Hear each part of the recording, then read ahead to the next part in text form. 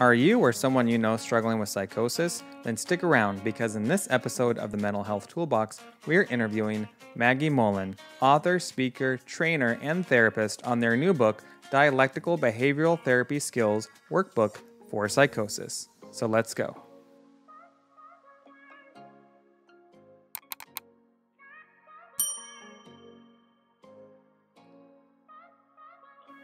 Hello, Thrivers, and welcome back to the Mental Health Toolbox. My name is Patrick Martin, and I am on a mission to help 1 million people improve their quality of life with actionable skills on personal development. So let's do it.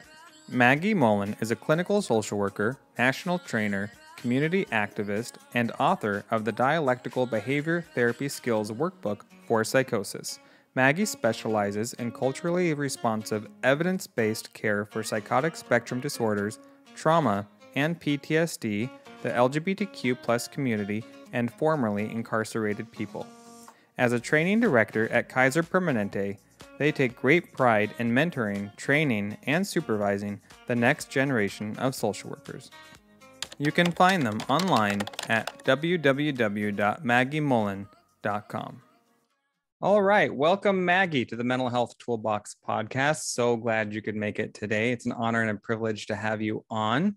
Um, I'm really excited about this interview because DBT is something uh, I'm personally fond of, having been trained in DBT and led individual group counseling for DBT for a couple of years. I was really excited when I saw your book hit the shelves, DBT for Psychosis.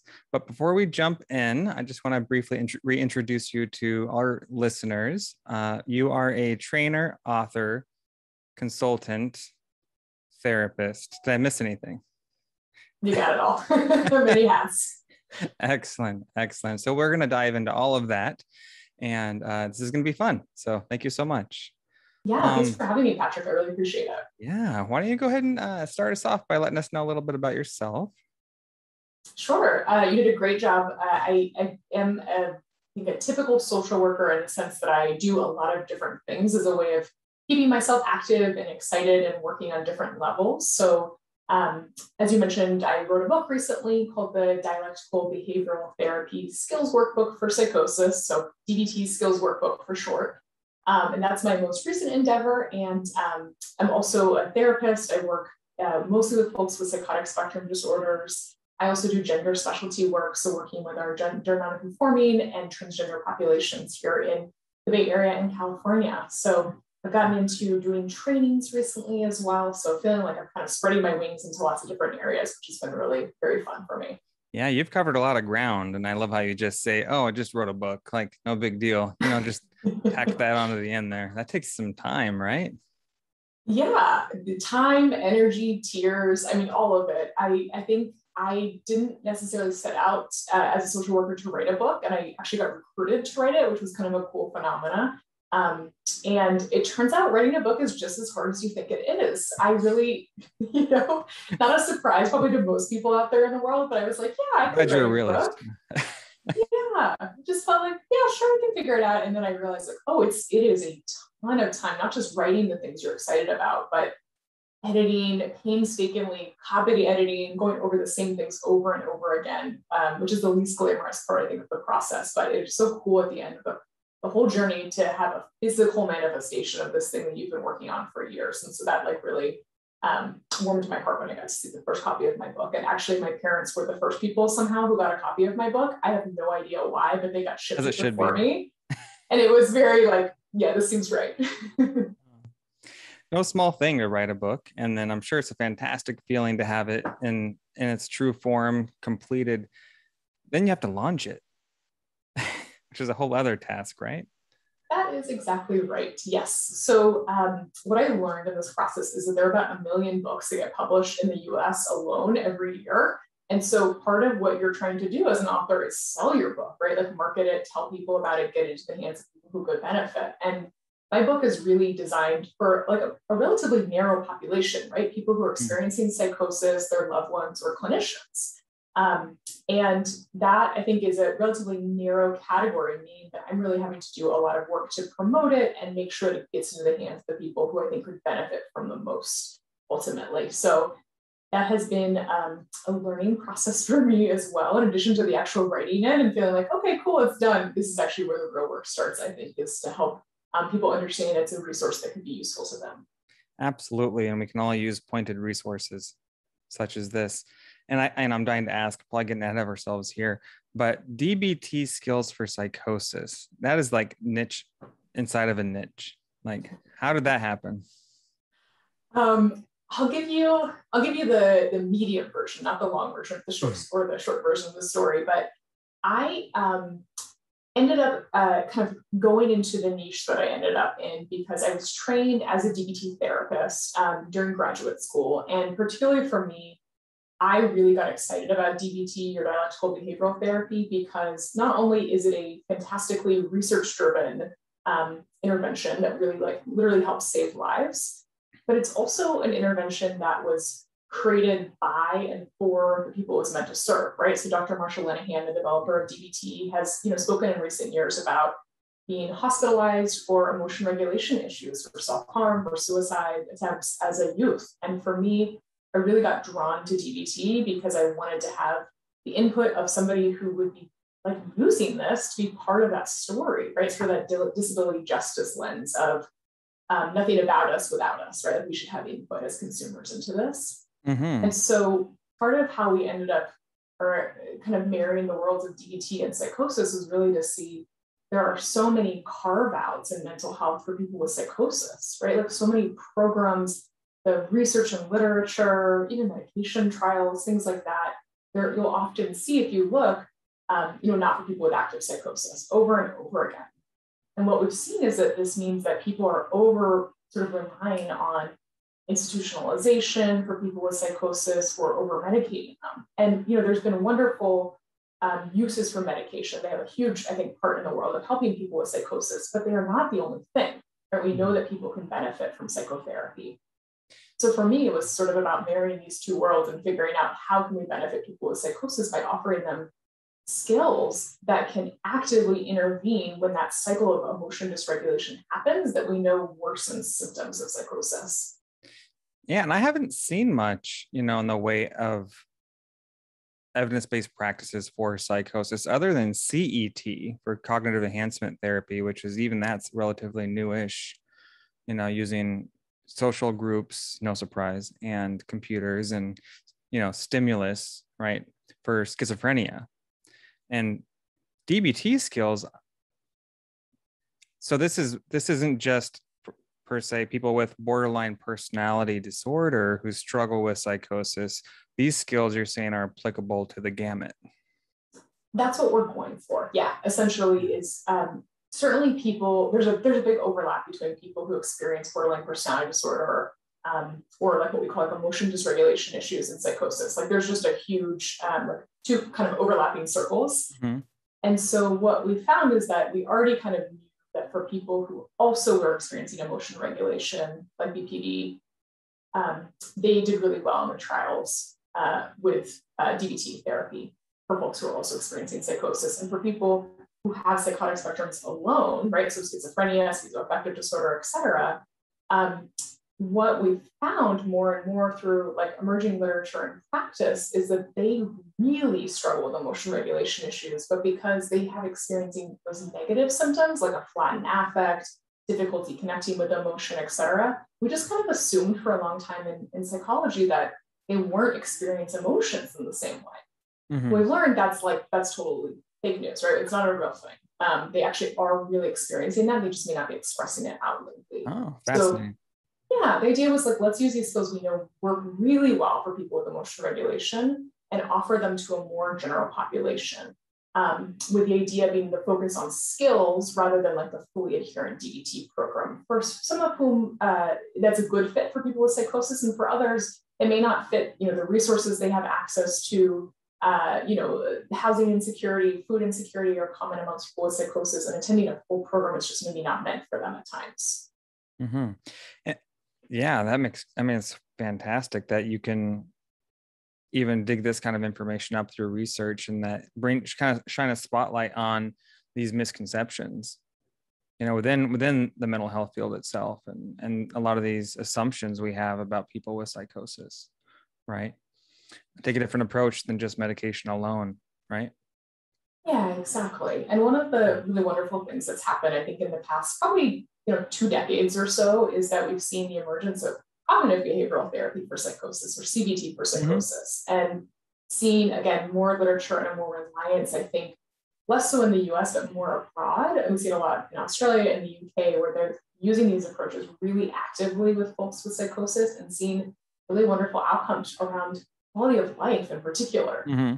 So helping people, you know, be able to challenge their own thoughts or kind of distortions that are coming up, as well as accepting and dealing with their symptoms differently, right? That you can live a healthy, happy life and still hear voices, for example. Um, I think that's something that we haven't really considered to be like normal, quote unquote, in society in a lot of places. Right. Absolutely. You know, we understand it as normal. We know there's a spectrum, right, between disorganized schizophrenia and schizoaffective disorder, right? We know that the difference somebody with schizoaffective disorder is going to have a lot higher capacity to engage with the world and, and push through and, and make things work in spite of the back burner psychosis, they're more tripped up by the the front end mood dysregulation stuff, you know, versus somebody who's you know disorganized and doesn't have the capacity. So I'm wondering with with these skills is and the workbook, where's the point of um, implementation when you're working with clients? In what kind of context would this be used? Do you think? Yeah. Um, in terms of uh, the actual workbook itself, so it's really designed for people with psychosis. Like it's written in language that is directly for somebody who's experiencing these symptoms themselves. And one of the things that's cool about that is that there aren't any other books on the market that are designed specifically for this group. Because again, a mm. lot of misconceptions about like, do people with psychosis read? Absolutely, but we didn't really know that, or excuse me, we knew that for a long time, but people made assumptions that that wasn't true. So I think part of how I use the workbook um, and I've noticed a lot of people have told me that they're using the workbook now that it's out, is either you know using it on their own, particularly in conjunction with loved ones. So you know, starting to do exercises and share with somebody else to be like, this is what was helpful for me. Like, can you remind me to use this when I'm in crisis? Or you know, there's certain things that are designed really to be used with people who you trust in your life. And I'm also seeing a lot of people who are bringing it to therapy with them. I've gotten lots of really just very heartwarming notes from people experiencing psychosis who've written me to be like, I brought this into therapy so we can go through it together. You know, I'm using it with my mom, I'm using it with, you know, my sister, whoever, as a way to really um, bolster the things that they're already doing with really the focus not just on um, you know stopping symptomatic because that's not actually really the, the point of the book the point is really like build a life worth living where you feel like you can thrive and move towards your goals and the things that you love and work out where psychosis falls into that as having a chronic condition.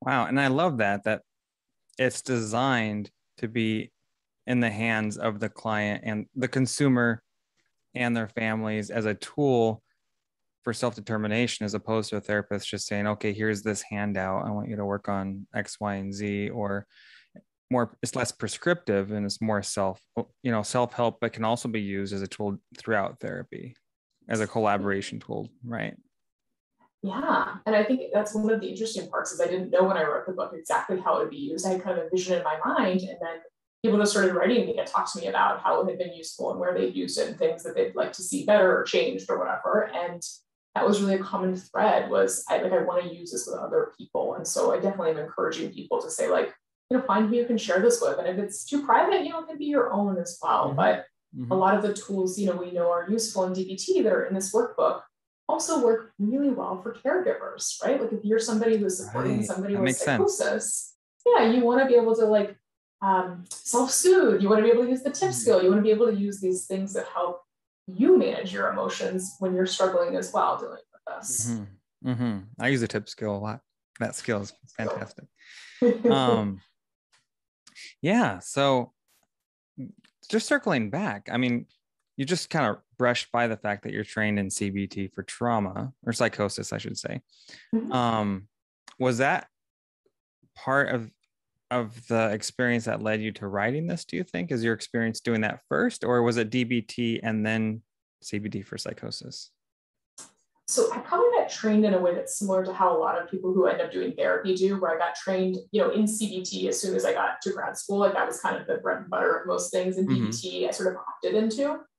And so I got trained specifically in CBT for psychosis during grad school because I think it was really up and coming at that time, about a decade ago, where we were trying to implement this more in the United States and make sure people have access to it. In my clinic, in particular, I was getting trained at, was really excited about like we need to offer people therapy in addition to medication management for folks struggling with psychosis.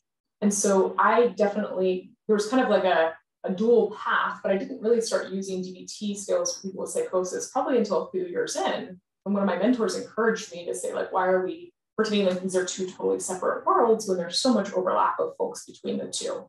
Um, and so I love CBT for psychosis. It's definitely like the foundation of what I've done and, and my work.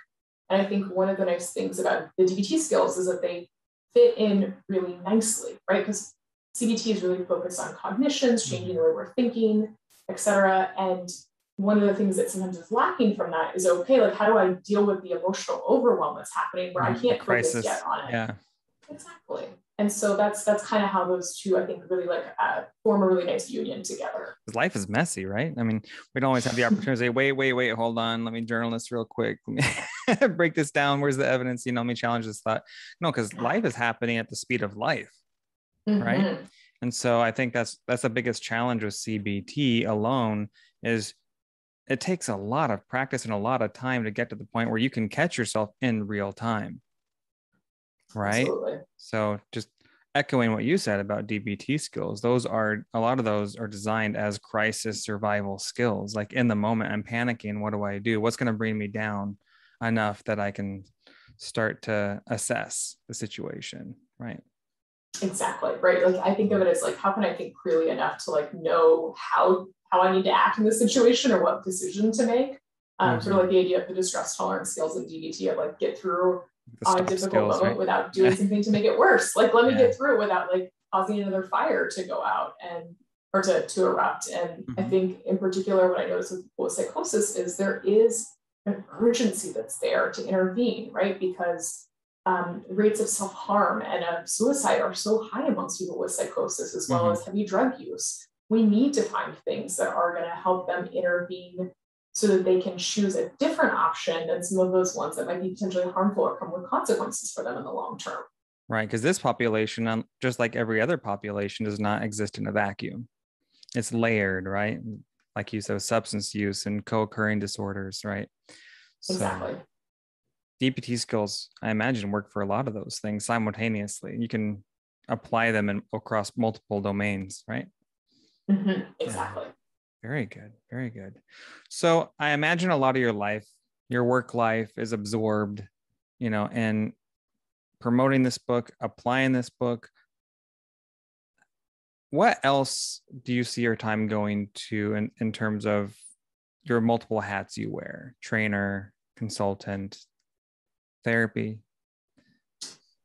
Yeah, well, that's what I'm looking at right now is figuring out kind of what that path looks like. And I think right now, the thing that has made me, I think, feel most I don't know, excited and alive recently is providing trainings to people in the community um, and really helping people, particularly early in their career as mental health clinicians, as well as later on, to say, like, let's get you these tools now so you can be developing them um, because you've got, you know, many years potentially doing this work.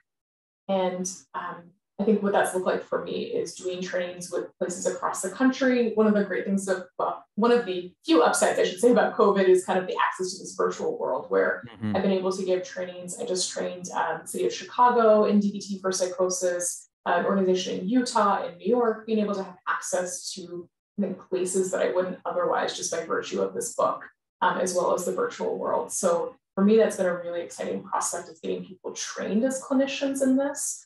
Um, I'm also writing a book chapter for a different book about novel approaches to psychosis that's coming out of, it'll be published in Spain. So it'll be international book in English and Spanish. And it's really the opportunity again to say, let's get creative in our interventions with psychosis. And here's how we use DBT to do that specifically.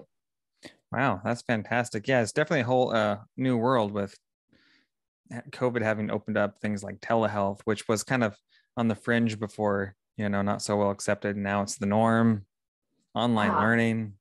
Yeah. So mm-hmm. it's, it's, there's some silver lining right, with COVID is that you're you can educate more people, help more people. Yeah. Yeah, it's starting to feel that way, definitely. So you've done a lot.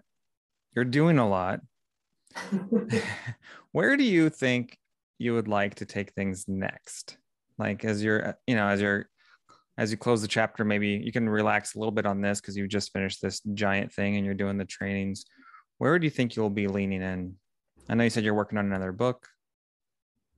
Yeah, so I am, I think, really looking right now at training as like my biggest kind of field. So I'm still doing my like full-time job working with folks with psychosis um, and doing gender specialty work at a clinic, which I just love. And one of the really cool parts of my role there is I run a training program. So for people who are just fresh out of grad school, who are um, postmasters fellows, who spend a year with us training, that's I think one of my biggest passions is doing supervision and training people who are new to the field and really trying to put my energy and effort into um, using that sort of social justice lens of doing this work. But I think I had some training when I was in grad school, but probably not nearly as much for what the world looks like now. Mm-hmm. So trying to really train a class um, where we are talking really actively about like how do we uh, do anti-racist work as social workers? What's our history as social workers that hasn't been so pretty, and how can we do better? mm-hmm. um, and thinking about how we're integrating those principles in, and also again taking that disability justice lens to kind of teach them around what is what's normal, right? Like how do we even define some of these things when we're working in a medical model and the difference between people's lived experience and then what the DSM tells us about that. So kind of I think mm-hmm. from that perspective of doing training with people who are newer to the field, and, and really I think for me, um, using some of their energy, right? Like the excitement that they bring in of people who are, you know, not jaded yet, being a, you know, really important part and who are excited yeah. and who have new ideas and really being able to harness some of that for myself to feel excited about the work I'm doing. Well, certainly. I mean, I can relate to that. You know, I remember when I was coming out of grad school and you just don't understand. I didn't understand the lay of the land and all of the different avenues you can go down in social work and mental health, you know, and what that looks like. Because yeah, once you land, I mean, you're excited to land into a clinic and get a job, right, out of mm-hmm. school, and then but you, and you spend all your time getting your hours, and you're trained in you know what you're allowed to be trained in and what you're told you know to work with and the population you're given be that children or adults or older adults or the homeless you know field based and um, do that for a while. And but if that's all your experience is in you know there's an opportunity cost if you don't know what other options are out there. Mm-hmm. right? Or how else you can apply. Or like you like you were just saying like a lot of the social justice that causes that social work was founded upon oftentimes are you know kind of fall into the shadows if we don't understand what our options are you know other than just lobbying mm-hmm. so that yeah I'm, I'm glad to hear you're passionate about that. And it shows in the way you talk mm-hmm. about it. Oh, thank you. Yeah, it, it is definitely the thing that gets me most excited these days. And, you know, I think for myself personally, the reason that I really chose social work over other professions was the idea that I could move between kind of these very micro levels like I'm working on, or in terms of my, you know, individual client work, to more of the macro level kind of activism type of work, which is where I came from before I did all of this. Mm-hmm. And then down to the meso level, which to me is like my book, right? As an example, like of mm-hmm. ways that we kind of can um, influence change and do work on all these different levels, and particularly keeping all of those contexts in mind when we work with somebody or work with a community. And for me, as somebody who I think gets um, bored easily. Like I like to be learning, I like to be growing. I really love social work for that reason that it gives me the ability to kind of move between things and, um, you know, just find different things that I can be excited about and feel like I'm making a change on when I get burnt out on certain things in different areas. Mm-hmm. Yeah, you seem very good about throttling and knowing how to move between passions and keep those things alive. And I, that's such an important part of mental health in general. People who oftentimes end up feeling unhappy, it's because there's nothing to stimulate them or they're neglecting a part of their themselves or what's important. Um, there's no, you know, the more autonomy it seems you you you lose, the easier it is to kind of get stuck in a rut, even professionally. Yeah, absolutely. I mean, I think um, to mention, you know, before I got into social work or graduate school any of this, I was really doing kind of community-based activist work. And for me, I think one of the things that I noticed was how burned out, how quickly I got doing that work because I didn't have um, I think the tools or the understanding of like how do you take care of yourself when you're doing this work that feels literally nonstop, right? Like anything in social work too, there's kind of a sense of like there's so much done. Like, and I, I want to do all of it. I think that's a lot of mm-hmm. why we get into this field in the first place is that we want to help our communities, we want to make a big difference. But the pacing part being so critical that I think I've learned with like many other people the hard way, where you kind of hit a wall at various times doing things. Mm-hmm. Um, and for a long time, I was doing work uh, in the prison system and really feeling like I was seeing a lot of really regularly traumatic things, the way people were getting treated and the way the institution was talking about people. And I didn't really have, I think, quite the robust understanding of how that would impact me personally as just somebody who's going in and helping people. And so I think I have really appreciated doing this work where I feel like I have more understanding, more training. I can really kind of pass that on to the next generation of people who are becoming therapists or social workers or kind of change agents in some way to be like, you know, here are the things I've experienced. They'll be different than yours, but here's what to look out for with, um, you know, burnout and uh, secondary traumatization and all those things that I think are kind of the hazards of our field. That must be so rewarding, you know, to be able to to be in a position to give people a heads up, you know, new clinicians, you know, watch out for this pothole, watch out for that, because those are serious things. Absolutely, burnout is a is a huge, huge issue in this field. So if you can help people get ahead of it, you know, that's fantastic. And, you know, I, I envy you. You know, I certainly have a passion for helping, you know, new clinicians, would be clinicians. As part of my whole mental health toolbox project, mm-hmm. you know, is to kind of help consumers or would be consumers, but also clinicians, you know, and help them avoid avoidable suffering right? Mm. so they can show up as them their best selves and and serve to their best ability right? So thank yeah. you for the work you do. It's definitely dear to my heart.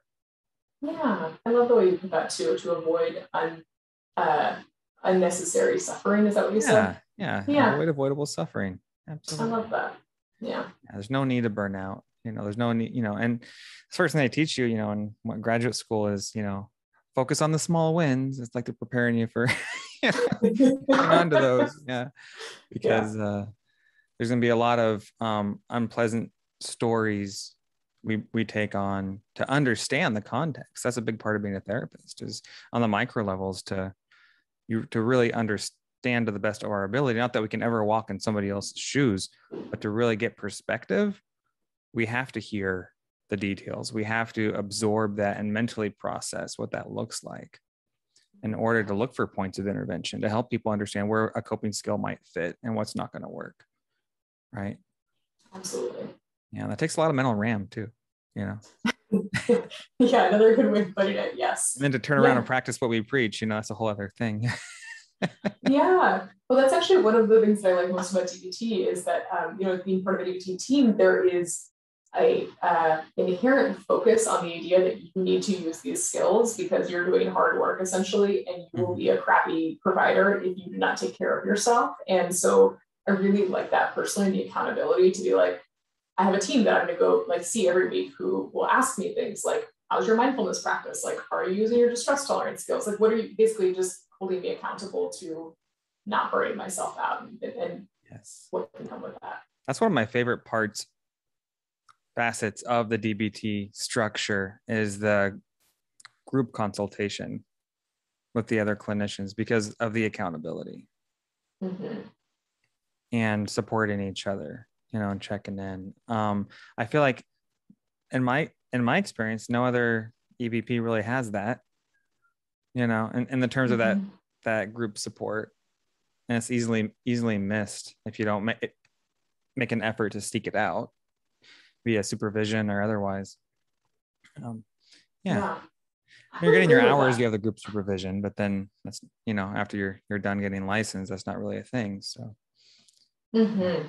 Yeah, I haven't actually really thought about that before, but I think you make a really uh, smart point, which is the idea that I don't know that there are other treatments that are really as focused on, you know, in DBT we talk about like providing therapy for the therapist, right? Mm-hmm. Like being the, the, using DBT skills to treat DBT problems essentially in those consultation mm-hmm. teams. And I really value that. I think that's a, one of the big parts that's gotten me through doing hard work with really challenging situations or challenging you know behaviors that come up with clients is mm-hmm. having people I can rely on and kind of fall back on. And I think that's really wonderful and unique part of DBT. And it's a very um, shared responsibility too, because I don't yeah. my experience, we traded off leading the groups and co-leading the groups and everybody had at least one or two of their own clients, you know, and so it was it was mm-hmm. as very much joint effort. And even the way groups are run, it's not like it's a therapist talking at the consumers. It's we are talking and working on this together. And it's very a lot of camaraderie, a lot of all in the same boat mentality. I think really mm-hmm. makes it work. Mm-hmm. Yeah, definitely. You can't tell I'm a big fan of DBT. So. I'm very into it. Um, any other passions that maybe people don't know about, at least not on your professional side? Oh, what a good question. Um, there are a lot of things I'm excited about. And like it, you can probably tell just by how excited I get about many things. I'm like a, I'm a very shiny person, like a mm-hmm. shiny object person object where I get very excited. Yeah. Not a bad um, but I would say the things that I've been most excited about recently uh, are really doing gender specialty work. I mean, in terms of like mm-hmm. my professional life, like as a non-binary person, it feels so exciting to be able to like provide representation to my community and the folks that I'm serving in that regard. So that's been, I think, one really exciting thing that I've been working on and trying to grow a bit more. Um, I think the thing personally for me that's been the most exciting is like dance, actually. It's been the thing I think that has um, helped me maintain my mental health the last few mm. years, almost above anything else, is just having a space to exercise, like have a community of people that I'm doing an act, shared activity with. And um, it's also really challenging for my brain to learn choreography and do certain things like that. So it's, it's very, very scalable. Fun passion, right? Because there's always something. It's like cooking. There's always something new to learn. Exactly. Plus, you've got the activity. That's fantastic. It's yeah. nice. Dancing. That makes a lot of sense. Personal care. Personal yes. development. Well, yeah. Exactly. Well, and the part that I do personally is like I sort of moved away from like more serious dance and have really just been doing um, these classes that are about like learning the choreography of pop stars. And it's just like fun to be able to do something that's totally absurd and like also like very fun to get into. And like that's the type of stuff I encourage my clients to get into. Is like doesn't matter that like it's odd to other people or whatever. It's really about like doing something that's fun you can let loose and mm-hmm. really participate in to use kind of DBT language mm-hmm, mm-hmm. Um, to really be in the moment. moment and enjoy yeah. it. Yeah, yeah. I could use that advice. I'm the wallflower. Yeah, never to dance. I'm the guy going to get another glass of punch. We all have a role, Patrick. all right. Um, anything we didn't touch on that you feel is important for um, our listeners nuggets of wisdom maybe for both the consumer and the practitioner takeaway points that if there's nothing else they remember from this interview that you would have them walk away with. I think maybe the biggest piece right now that I'm working to sort of like educate people about is really the um, idea of normalizing talking about mental health, but in particular like severe mental illness. So not just talking about depression, anxiety, which I think are really things our society is doing a lot better on recently, but thinking about um, people who are also experiencing more active, more impairing type of symptoms, who have uh, more distress that comes from their uh, experience overall, and kind of more chronic conditions and really thinking about it from the perspective of again people with psychosis and people who have a bipolar disorder kind of again these more chronic severe mental health issues to be the ones who are leading the way around this. And part of our role as therapists or as mental health providers to be to listen to that right? To really take that seriously and not to kind of write off as i don't know delusional behavior or some of the things that we might have done in the past and really kind of let those voices lead. So for me i think my my biggest goal was like listening to people who are having that experience and being able to integrate that into my work in a much more active way and having that be a really active voice there. Yeah, I love that. I remember a training I took years ago. It was called Listening with Psychotic Ears. Hmm. It was very much to that effect, is being being careful to watch your own implicit bias and not just label something as a particular behavior and and be passive about it, but really to to try and figure out what that's about. You know, what does yeah. that mean to the the consumer? Mm-hmm. Why is that showing up now or in this situation?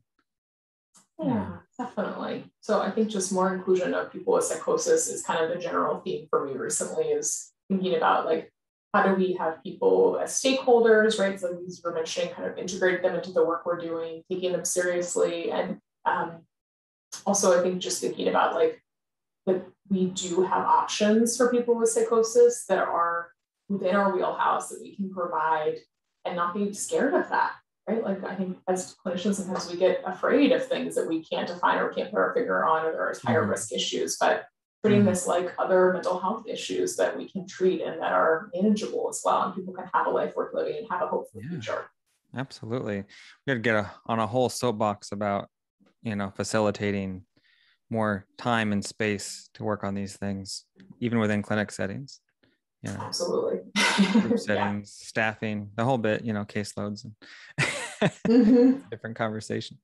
Um, all the DBT skills, and what do you feel would be the most are the most maybe effective in helping with mood regulation in your experience?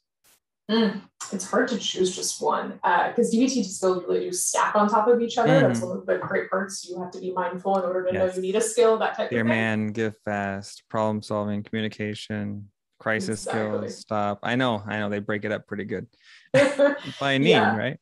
Yeah. context. I think, you know, maybe the way I'll answer that question that's a bit different than how you asked it is actually maybe the skill that I think my clients find the most fun and they're most willing to use. Um, because I think sometimes what I have to do is get people to buy into using what I'm offering before they're willing to do it. And I often start with skills that are a little bit more, um, I don't know, I think that are more engaging to people. So, like, I love all the stress tolerance skills, I love all of our emotion regulation skills, and some of them are a little heavier. So, I mm-hmm. often will start with people around a skill like alternate rebellion, which I think is really, um, again, a fun skill uh, in the sense of the, the idea being that like for many people we rebel against society in some way or the other right like either sure. we're yeah. rebelling against boredom against conformity around our diagnosis like there's always something that we're kind of rebelling against and the idea is that a lot of people end up using drugs as a way to rebel mm-hmm. because mm-hmm. they kind of want to give like an fu to society to somebody telling them what to do etc um, mm-hmm. um, but we also engage in other harm kind of harmful to ourselves behaviors that are not just drug use right so like um, self isolation, right, being a big one amongst people, or mm-hmm. um, self harm, or you know, a number of other things. And so I often will work with my clients by saying, okay, the way you're rebelling is coming with some consequences, right? Let's say it's like I don't know alcohol use. Mm-hmm. So let's instead find something that still allows you to get that like fun rebellious spirit out, but without so many consequences. So like let's Ooh, find like something that. creative, right? Yeah. Like um, it could be, uh, you know, going to a protest, dyeing your hair a different color, getting a piercing, uh, getting a, ta- a temporary, I just say temporary tattoo start, mm-hmm. just for, for that kind of impulsivity that can come up. Yeah, a little henna um, tattoo or something. yeah, uh, we could be working, like I have one client for whom like her way of rebelling against her partner was to pee in the shower. Like that was like her very simple thing that was like a way of being, like F you, but like right? zero consequences ultimately. Mm-hmm. No one knew. My harm reduction. Yeah. exactly. Yeah, and I actually think this is really a harm reduction skill. You just named that well because it is about really reducing the harm associated with certain behaviors and finding things that can still get that like awesome, really important to harness rebellious spirit out in a way that's going to come with um, fewer negative consequences ultimately. So I think that's one of the ways that I sometimes get my clients into doing this, particularly people like maybe teens or people who are maybe a little more hesitant to engage with me around DBT, and then kind of work with other stuff from there um, once they're bought in. I love it. I love it. It reminds me of that um, hierarchy of, you know, you help people find what they want so you can lead them to what they need, right? Mm-hmm. It's a good way of putting it. Yeah. I love it. Yeah. All right. So, um, where can our listeners find more out about you? Where can they go to learn more about Maggie? Yeah, so definitely my website, which is maggiemullen.com, is a great place to start. Um, you can find me on social media. I'm on Instagram at Maggie Mullen LCSW. I'm also on Goodreads as an author there. Um, and those are probably the easiest ways to get in touch with me, as well as LinkedIn as well. Beautiful website, by the way. Oh, thank you. Very nice, nicely polished. Um, your book, where can people find it? Oh yeah. So anywhere you buy your books, so Amazon, good, uh, you know, bookshop.com, um, any of those websites. uh, is fine, as well as like your local bookstore. You can request from there. You can request it from your local library, wherever you want to get it. Um, there's a link on my website to it, but it's again the DBT skills workbook for psychosis. Fantastic. All right. Well, I will be sure to link up to all of that in the description, etc. Podcast, blog, YouTube, wherever you happen to be absorbing this from. Um, any anything you'd like to add? Any questions, comments, concerns? No, I really appreciate the work you're doing, Patrick, right. for having me on today and excited to be sharing your mental health toolbox resources with, with oh, I'm working thank with. Thank you. Too. Yes, I'm sure this will be a gem for our listeners. Thank you so much for your time. And would it be okay if I did a follow up down the road, see how things are going on in your world? Of course. Yeah. All right. Great. Thank you so much. I'll be uh, checking in with you and, uh, you know, down the road, see how things are going. And feel free to reach out anytime. Okay. Thank you, Patrick. Really appreciate right. it. Thank you. Thank you so much. All right. Take care. Bye. Thank you. Bye bye. Well, there you have it. Another tool to help you thrive. Hey, if you're getting value from this content and you haven't done so already, be sure to subscribe, like, and share. It helps us reach more people to raise mental health awareness. All right, now go make good things happen. Bye bye.